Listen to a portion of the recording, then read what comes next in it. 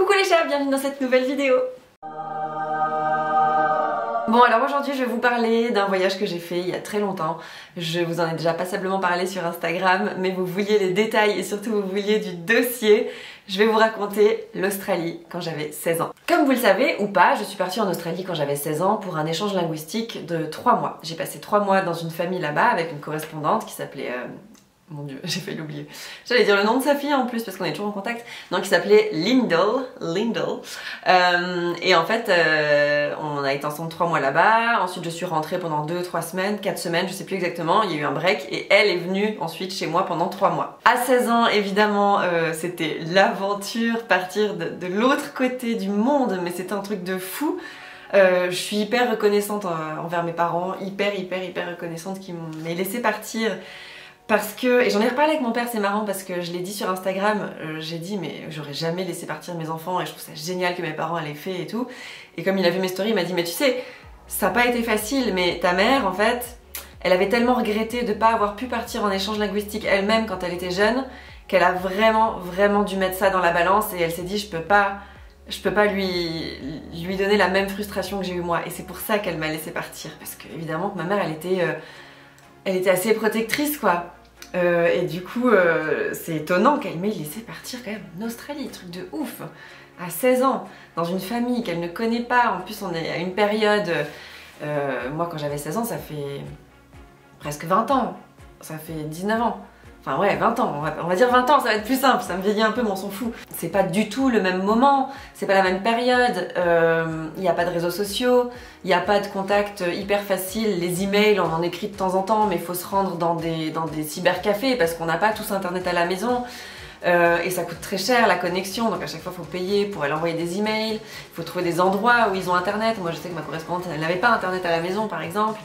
Donc, euh, donc voilà, c'était des choses un peu compliquées. Le téléphone, pareil, j'appelais jamais depuis chez elle parce que ça coûtait beaucoup trop cher. Donc à chaque fois, je devais aller dans une cabine pour euh, appeler mes parents et tout. Enfin, et on le savait quand j'allais partir que ça allait être comme ça, que pendant trois mois, on allait avoir très peu de contacts. Alors bien sûr, il m'avait fait promettre de leur écrire de temps en temps, etc. Mais c'était une vraie séparation. Alors que maintenant, si on part à l'autre bout du monde pendant trois mois, eh ben on est connecté 24 heures sur 24, par SMS, par... Euh, partout, par réseaux sociaux, enfin bref. Voilà, juste pour replacer un peu le contexte. Donc vraiment, hyper classe mes parents, merci de tout cœur. Pour m'accompagner aujourd'hui et pour vous raconter ce voyage, plutôt que de partir dans tous les sens et parce que mes souvenirs sont vraiment trop trop vieux, je suis retournée chez mon papa récupérer mes photos.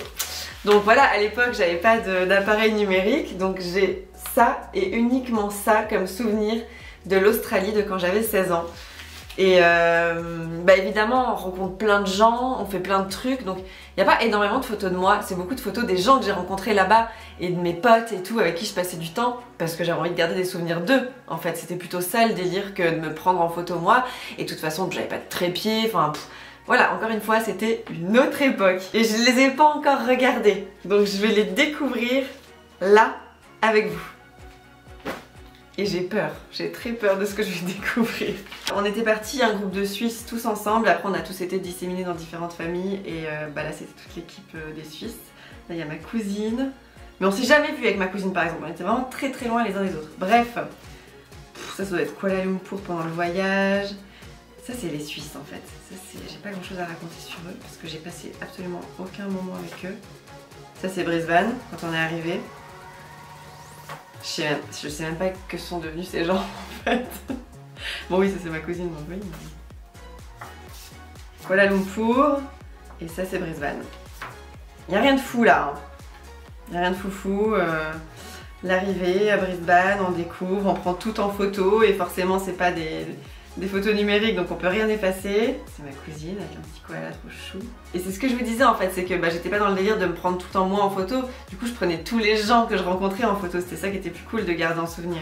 Les koalas, les kangourous, je crois qu'au début on fait que des photos d'eux. Hein. Ah, je suis pas du tout fière de moi parce que dans les eaux comme ça, les pauvres, même pas en milieu naturel, mais bon, j'avais pas du tout conscience de ça quand j'avais 16 ans. C'est tellement chou. Ça, c'est un émeu. J'ai découvert l'émeu là-bas. Ça ressemble beaucoup à une noix. J'ai euh, un paquet de photos où il n'y a que des photos de kangourous et un sapin de Noël australien. C'est magnifique. Bon allez, c'était pas très intéressant. Ah ça c'est cool, c'était euh, le campus universitaire à Brisbane, ils avaient une petite plage artificielle. Et du coup on allait souvent se poser là-bas. Alors que moi en fait j'étais pas du tout à Brisbane même, j'étais à genre 45 minutes de Brisbane, vraiment dans le bush quoi, j'étais à un endroit qui s'appelait Daybro. Ah bah voilà ma correspondante, en fait je réagis même pas mais voilà, ma correspondante. Lyndall Stever, maintenant elle s'appelle plus comme ça, je sais plus comment elle s'appelle, elle s'est mariée depuis, les photos sont collées. Je les avais affichées dans ma chambre, donc du coup elles avaient encore du scotch derrière. Il n'y a aucune autre euh, raison à... au fait que les photos soient collées, là, s'il vous plaît. Bon bah j'espère qu'elle ne verra jamais cette vidéo parce qu'elle m'en voudra d'avoir montré des photos d'elle. Ah voilà, une petite photo de la plage à l'époque. Je faisais genre je suis une surfeuse alors qu'en fait je suis une méga flippée des requins j'ai tenté quand même, hein, j'ai fait une matinée de surf euh, et, ça a été terminé. J'ai eu trop les boules, j'ai pas pu faire de surf plus que ça, j'avais vraiment trop trop peur. Ça c'était nos potes, mais je fais trop ma belle. Oh, putain j'avais des sacrés cheveux hein J'arrête pas de dire qu'ils ont toujours été femmes, mais en fait quand j'étais plus jeune ça allait encore. Ça c'était vraiment des potes, euh, vraiment des potes de ma correspondante avec qui on était tout le temps quoi, ils étaient trop marrants. La différence entre l'Australienne toute blanche et puis la Suisse toute bronzée, c'est hyper drôle. Le contraste il est super drôle. Voilà. Bon, à 16 ans, évidemment, on fait toujours nos belles. Sur la plage. Non, c'était cool à faire ça. Hein. Franchement, qu'est-ce qu'on a pu rigoler. C'était beau. Hein.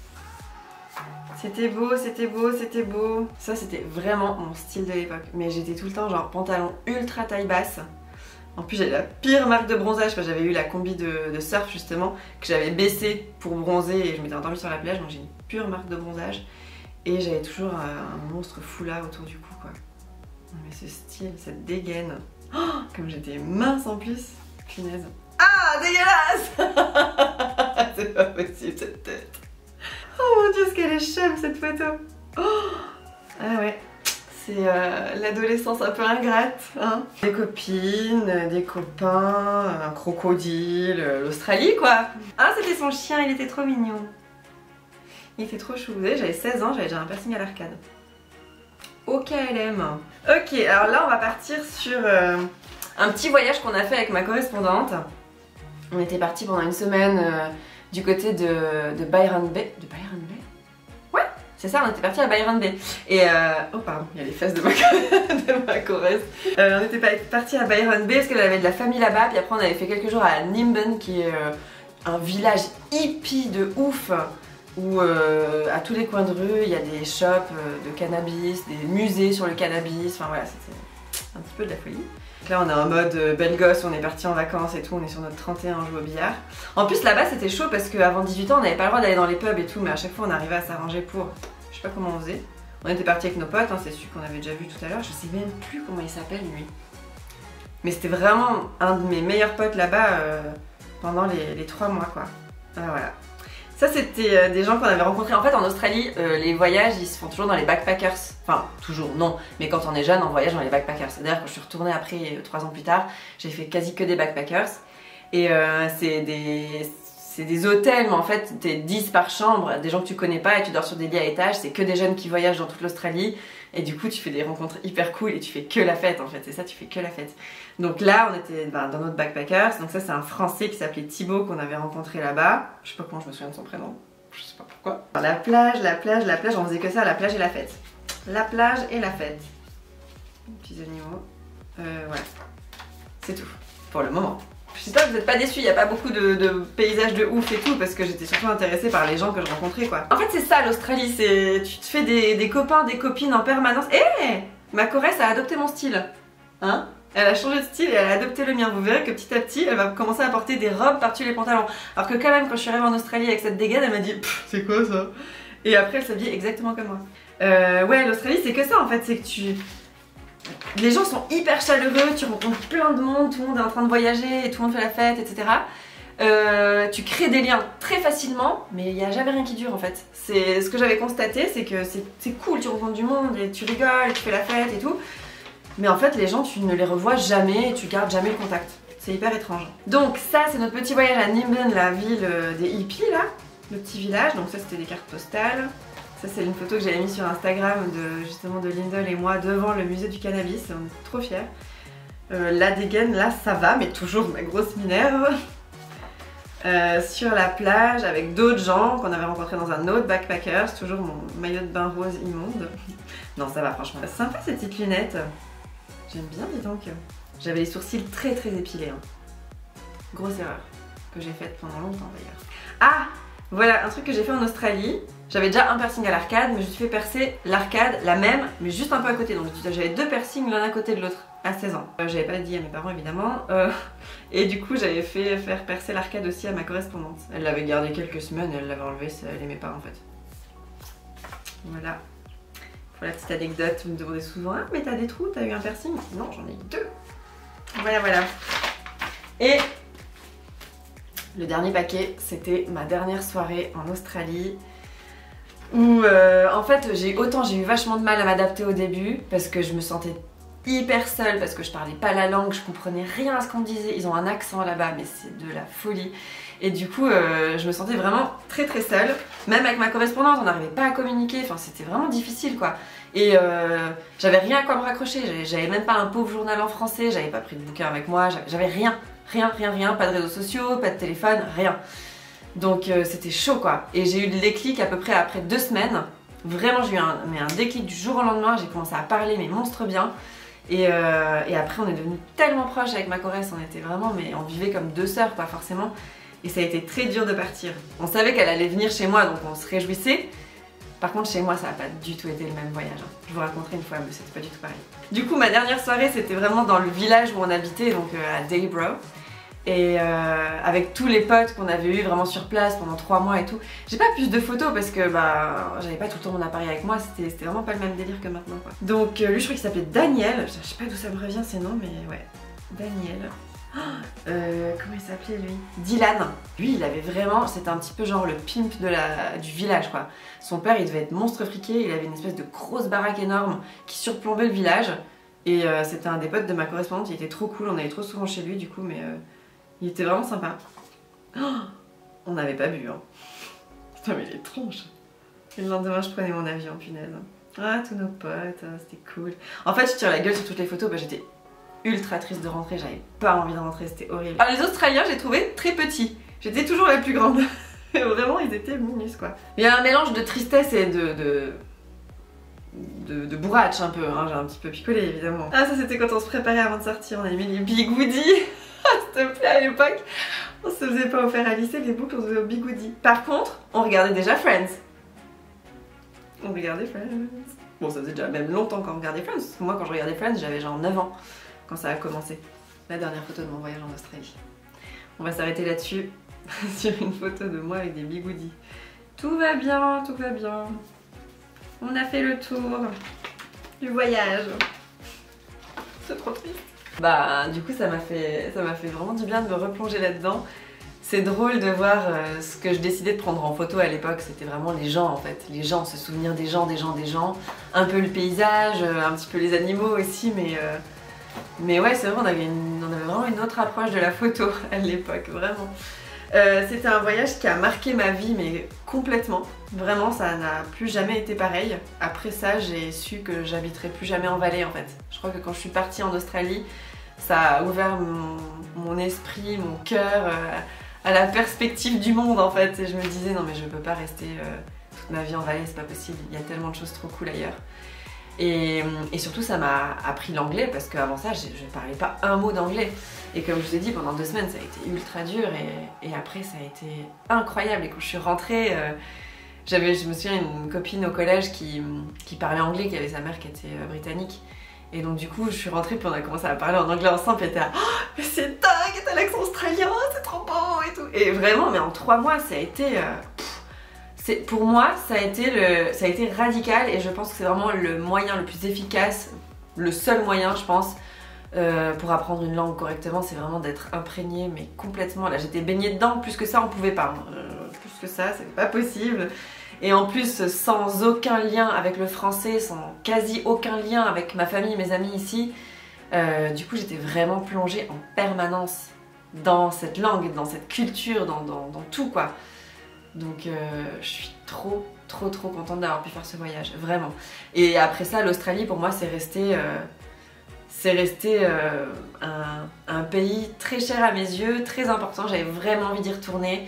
Donc quand j'ai fini mon collège, quand j'ai eu ma matu, le bac en France, et ben je suis repartie en Australie trois mois avec une copine pour voyager cette fois. Donc pas d'échange, pas de... Mais j'étais retournée voir Lindell évidemment, qui entre temps avait eu une petite fille.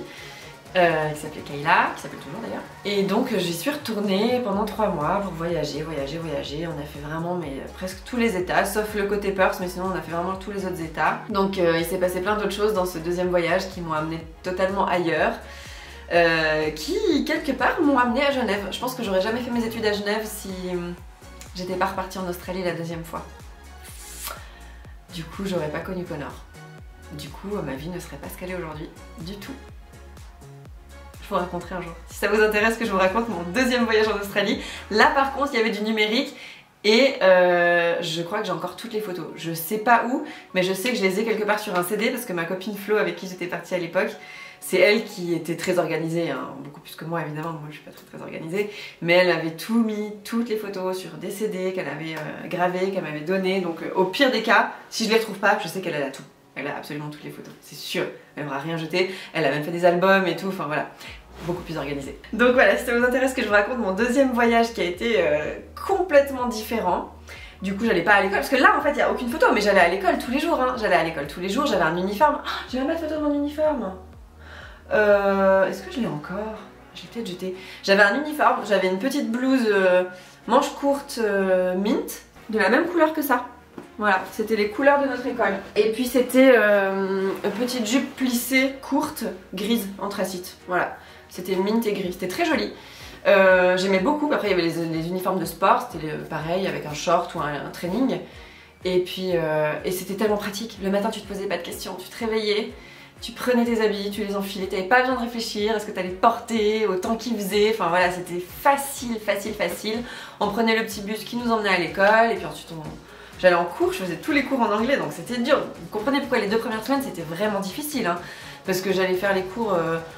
Ben, tout, de maths, euh, de chimie, de, tout, en anglais. Et le seul cours que j'adorais, qui me faisait du bien, c'était le cours de français, je crois que j'en avais 3 ou 4 par semaine. Et là, là je cartonnais, j'étais la meilleure de la classe. Mais ouais, l'école tous les jours. Mais là, par exemple, bah, je prenais jamais mon appareil photo et on n'avait pas de téléphone. Enfin, c'était vraiment c'était différent quoi. Euh, donc j'ai aucune photo de l'école. J'ai même fait un, bal. ils, faisaient des espèces de balles de promo de temps en temps. J'en ai fait un. J'avais trouvé super bizarre parce que on avait un uniforme et quelques fois dans l'année, quand l'école avait besoin de se faire un peu d'argent, c'était vraiment ça quoi il déclarait que c'était un jour sans uniforme. Alors soit tu pouvais aller en uniforme comme d'hab, soit si tu y allais sans uniforme, on avait le droit, mais par contre il fallait payer 5 dollars, je crois que c'était ça, 5 dollars australiens. Euh, et donc du coup bah, tout le monde était trop content de pouvoir y aller sans uniforme pour montrer leur style, pour s'habiller et tout, donc tout le monde était sur leur 31 de ouf, alors qu'on allait à l'école quoi. Et euh, j'avais trouvé ça dingue quoi, 5 dollars pour ça, c'était abusé. Mais, mais bref, c'était l'Australie quoi. Donc voilà, le deuxième voyage était très différent parce que j'allais pas du tout à l'école. Vraiment, le deuxième voyage, je n'ai fait que voyager, rencontrer des gens et faire la fête. Mais c'était que ça, que ça, que ça, que ça. C'était un voyage ouf, vraiment trop cool. Celui-là aussi, mais très différent. Bref, euh, si vous avez des questions concernant ce premier voyage en Australie, concernant un échange linguistique, comment ça se passe, ou je sais pas, euh, l'apprentissage de la langue, ou enfin peu importe, n'hésitez pas, vous me les mettez en commentaire. Et voilà, une partie de ma vie que je viens de réouvrir comme ça, ça me fait trop bizarre, j'avais pas regardé ces photos depuis euh, au moins 10 ans. Allez, je m'en vais rêver un petit peu à l'Australie, je vous laisse avec tout ça, j'espère que ça vous aura plu. Je pense que vous n'avez pas dû apprendre grand chose à part ben, découvrir cette partie-là de ma vie qui, qui, était il y a très longtemps, hein. ça fait 20 ans, comme je l'ai dit, ça fait très longtemps. Mais voilà, ça ne me rajeunit pas tout ça. Je vous souhaite un bon week-end, je vous embrasse. À la semaine prochaine pour une nouvelle vidéo. Bye